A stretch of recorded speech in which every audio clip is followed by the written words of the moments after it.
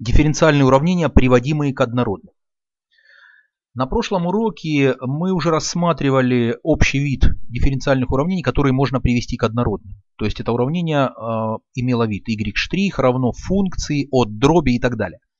Вот если мы сейчас вот данное уравнение приведем к такому виду, у нас действительно получится уравнение, которое можно привести к однородному. То есть получается э, функция, которая зависит от э, некоторой дроби. Числителе у нас будет вот одна из скобок, а в знаменателе будет другая скобка. Там со знаком минус, плюс нам не важно.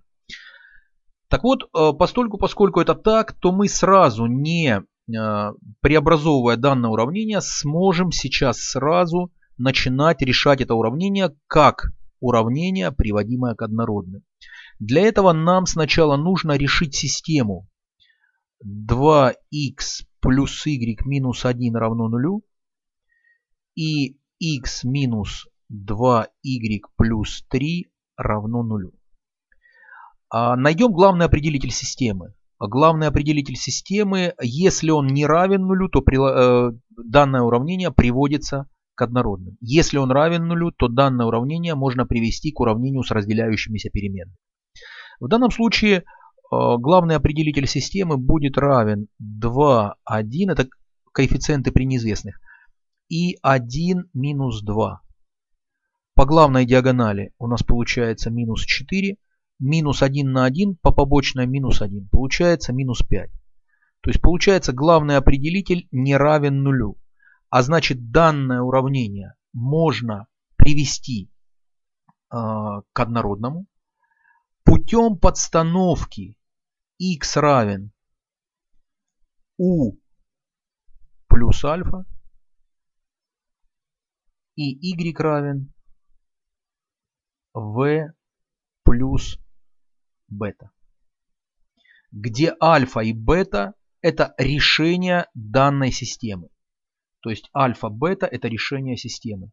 Так и запишем. То есть альфа точка запятой бета это решение нашей системы. Решение системы. Ну и теперь можно данную систему решить и найти вот эти числа альфа и бета, чтобы затем сделать нужную подстановку. То есть как решить э, проще всего систему? Можно из второго уравнения или из первого можно, э, сейчас подумаем как лучше. Значит, можно, э, так, у нас тут 2y, да, лучше всего сделаем так. Умножим первое уравнение на 2 и сложим со вторым. Тогда у нас получается дважды 2 4х до плюс х. Получается 5х. 5х плюс 1 равно нулю. Далее. А второе уравнение, в качестве второго уравнения можно взять вот это первое и выразить из него y. То есть y будет равен минус 2х плюс 1. Минус 2х плюс 1. И теперь решаем данную систему. Тогда у нас получается x равен минус единица, деленная на 5, минус 1 пятая. Это минус 0,2. Минус 0,2. А y подставляем, у нас получается минус 0,4. А, да, тут минус на минус дает плюс. Это получается 0,4 до единицы еще. То есть получается 1,4. Таким образом, подстановка будет иметь вид x равен u минус 0,2. Почему? Потому что это и есть альфа. Вот это альфа, а это бета. Потому что альфа-бета это решение данной системы. Таким образом, u минус 0,2 это будет x, а y мы заменим на v плюс 1,2. 0,4. Подставляем. Тогда после подстановки у нас получается, то есть подставляем э, куда? Вот в это наше первоначальное уравнение, которое нужно привести к однородному. А тогда у нас получается 2х, то есть это значит получается 2 умножить на скобки в скобках u минус 0,2. 0,2 в скобках плюс v плюс 1,4 минус 1 умножить на du. Далее плюс, скобки открываются, u минус 0,2. То есть все подставляем вот сюда, в исходное наше уравнение. То есть что подставляем? Вот эту, вот эти э, подставляем вместо x y вот данные выражения. Тогда у нас получается u минус 0,2 минус 2 умножить на y. А y это v плюс 1,4. v плюс 1,4.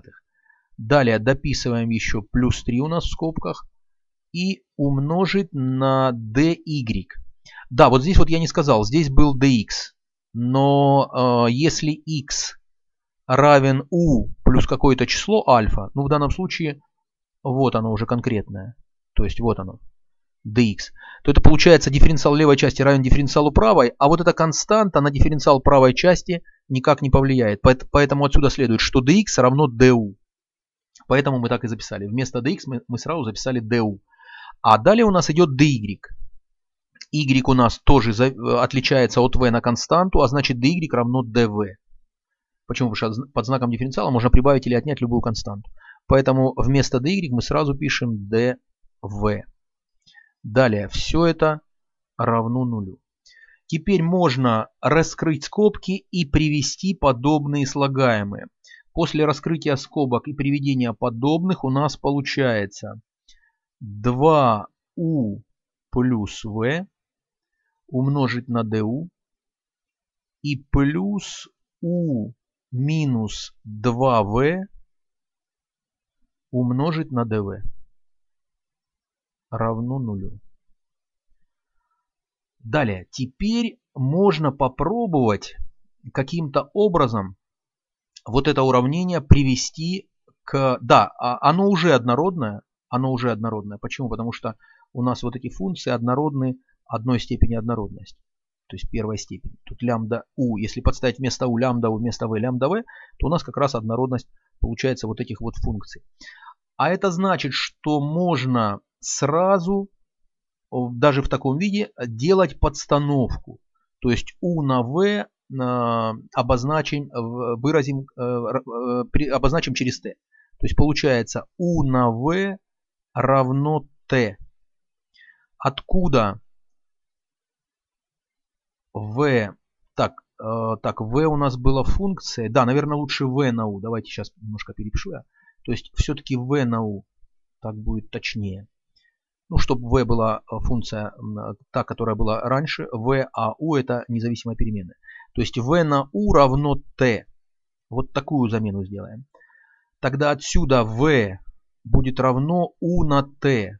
И вот теперь нам нужно будет э, заменить dv. Ну или выразить v' штрих отсюда. И тогда, если v' штрих будем выражать, тогда v' штрих будет равно u штрих равно единице, получается просто t. И плюс t на u. То есть вместо v мы подставим вот это выражение. Ну, в принципе, да, можно и так. А, можно и так сделать. Тогда выразим v. А, перенесем тогда вот это второе слагаемое вправо со знаком минус. А, таким образом можно вот здесь в скобках поменять знаки. Получится 2v минус u вот здесь в скобках, потому что со, с противоположным знаком перенесется в правую часть, второе слагаемое, и разделить обе части на du, на du и на 2v минус u. Тогда после такого преобразования у нас наше выражение будет иметь такой вид. 2u плюс v. И теперь мы делим вот на эту разность только с противоположным знаком, потому что мы перенесли вправо знаки поменяются на противоположные. Значит, нужно поделить на 2v минус u. И справа у нас получается dv по du. А dv по du это v штрих. v штрих. И сейчас мы вместо v штрих подставим вот эту сумму. Конечно, можно, было сразу дифференциалы подставлять. Но раз уж так сделали, давайте тогда так и продолжим. Теперь мы делим на u числитель и знаменатель и числитель и знаменатель почленно делим на u. Тогда в числителе получается 2u плюс v на u. А в знаменателе получается... Да, если мы делим... Сейчас, э, одну минуту. Если мы делим на u, тогда 2u и u сокращается, будет просто 2. 2 плюс v делить на u, вот так точнее. Разделить, и здесь мы делим на u. Получается 2v на u минус 1 равно v штрих. Ну и вот теперь можно уже все подставлять. Что тогда у нас получается? Дробь в числителе будет 2 плюс t, потому что v на u это t, вот она наша подстановка. Далее, в знаменателе будет у нас 2t минус 1. 2t минус 1. Справа вместо v' запишем вот эту сумму. Тогда у нас получается t плюс t на u. Ну и теперь можно уже пробовать разделять переменные. То есть тогда получается у нас t плюс 2, поменяем слагаемыми местами, t плюс 2 разделить на 2t минус 1 до минус t перенесем в левую часть. А справа у нас остается t на u. А что это такое? Это u, а t мы запишем как dt по du. dt по du. Далее. Что тогда можно сделать? В левой части приведем к общему знаменателю. Тогда у нас получается 2t минус 1 общий знаменатель. Домножаем на знаменатель а, второе число. Тогда у нас получается 2t квадрат. Так, сейчас проверим. Домножаем. Да, тут еще минус. Значит, э, будет с минусом. Минус 2t квадрат у нас получается. Минус 2t квадрат. Далее. А, плюс t плюс 2 мы перепишем от числителя первой дроби. Ну, как-то переставил немножко. Ну ладно, пускай, какая разница. Плюс t плюс 2, вот это от числителя первой. А это уже от числителя второй. Почему-то я поменял местами. Ну, пускай, неважно. Так получается плюс t плюс 2. И еще у нас получается а, вот этот минус t умножить на минус 1. Это будет еще плюс t. То есть получается плюс t еще. Вот теперь все правильно. А, далее равно. И в правой части мы пока перепишем то, что у нас там остается. у dt на du. Далее, теперь можно разделить переменные. То есть умножить на эту дробь обе части. И э, тогда у нас получается, в левой части у нас получается, да, вот здесь вот в числителе у нас получается плюс 2t плюс 2. Значит, минус 2 мы вынесем за скобки в числителе. Э, то есть вот здесь вот мы в левой части выносим минус 2 за скобки и так и оставим. Минус 2 мы так и оставим. Далее мы умножим обе части на du и поделим на u. Получается минус 2 du на u. А в правой части останется вот эта перевернутая дробь, потому что мы на нее делили. Это получается 2t минус 1 в скобках поделить на t квадрат минус t минус 1 и умножить на dt. То есть у нас получается вот такое выражение. Ну и теперь можно проинтегрировать. Интеграл левой части равен интегралу правой части. Тогда у нас получается в левой части минус 2 логарифма u, минус 2 натуральных логарифма модуля u. А в правой части у нас, если мы сейчас загоним 2t-1 под знак дифференциала, то нам можно под знаком дифференциала записать вот, эту, вот этот знаменатель. То есть получается дифференциал от t квадрат минус t минус 1 разделить на t квадрат минус t минус 1. То есть это натуральный логарифм. А почему? Потому что производная t квадрат минус t минус 1 как раз и будет равна 2t минус 1. То есть получается вот в скобках вверху это и есть производная знаменателя. А это значит можно вот эту производную 2t минус 1 загнать под знак дифференциала и по дифференциалам получить вот этот знаменатель целиком. То есть тогда получается у нас дифференциал от t квадрат минус t минус 1 разделить на t квадрат минус t минус 1. А это натуральный логарифм. Так и запишем. То есть натуральный логарифм модуля t квадрат минус t минус 1. Ну еще э, надо записать константу. Константу мы, за, мы запишем мало того, что в виде логарифма, да еще и со знаком минус, чтобы перенести ее в левую часть. Так будет проще потом модуль раскрывать вот этот в правой части, который остается здесь у логарифма. То есть мы запишем ее со знаком минус. Минус натуральный логарифм c. Далее, что тогда у нас получится? Теперь можно избавиться от логарифмов, но перед этим минус 2 загнать вот сюда в степень. То есть получается u по модулю в минус 2. Значит модуль можно убрать и получится просто u в минус 2. Да еще логарифм c а, со знаком минус, он перейдет в левую часть со знаком плюс, поэтому получается а, у нас логарифм от произведения c умножить на u в минус 2. Ну и потом, что e возводим в каждую из этих степеней и избавляемся от логарифмов. То есть избавляемся от логарифмов, тогда у нас получается c на u в минус 2 равно модуль t квадрат минус t минус 1. t квадрат минус t минус 1. Ну и теперь, э, постольку, поскольку это модуль, а модуль раскрывается как плюс-минус левая часть, так как c было только положительно строго, если мы модуль уберем, тогда вот эта константа c будет уже не только положительной, но и отрицательной. Поэтому здесь вообще можно было записать как c со звездочкой или c первая. А вот здесь будет уже, э, когда мы раскроем, какая-то новая константа. Я сейчас здесь звездочку поставлю. То есть пускай это будет c со звездочкой, или там c1 можно было написать, или c со звездочкой. Но для чего? Для того, чтобы c со звездочкой было еще у нас строго положительная величина. А вот теперь, когда мы избавимся от модуля, тут просто останется константа c. То есть таким образом у нас получается, что сразу начнем с правой части. t а квадрат минус t минус 1 уже без модуля. И равно это все c на u в минус 2. c на u в минус 2. Ну и теперь умножим обе части на u во второй. Чтобы вот здесь вот получилась единица. То есть умножаем на u во второй. То есть получается t во второй на u во второй минус t на u во второй минус u в квадрате равно c. Ну и теперь возвращаемся назад. Вместо t подставляем а, у нас мы э, заменяли, вот оно, это v на u, вот оно t. Значит, v на u. Назад возвращаемся, получается вот здесь v квадрат на u квадрат, и u квадрат сокращается.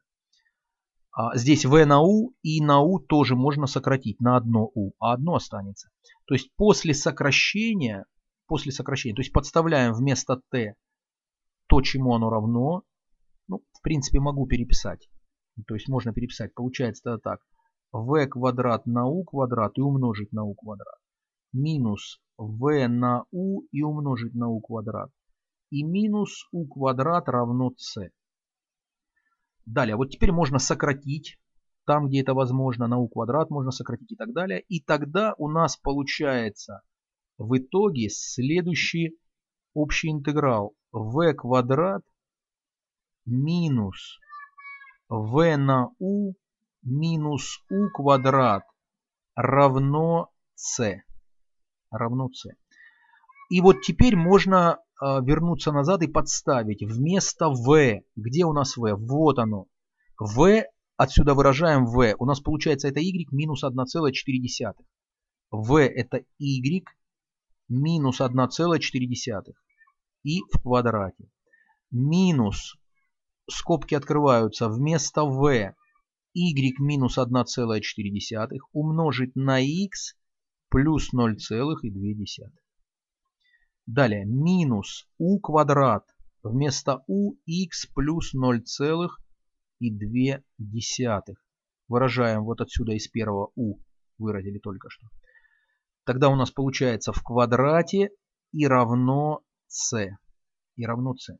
Теперь можно раскрыть скобки и привести подобные слагаемые. После раскрытия скобок и приведения подобных слагаемых окончательный результат, окончательный общий интеграл будет иметь вид после приведения подобных. y квадрат минус x на y минус x квадрат плюс x минус 3y равно константе c. Задача решена.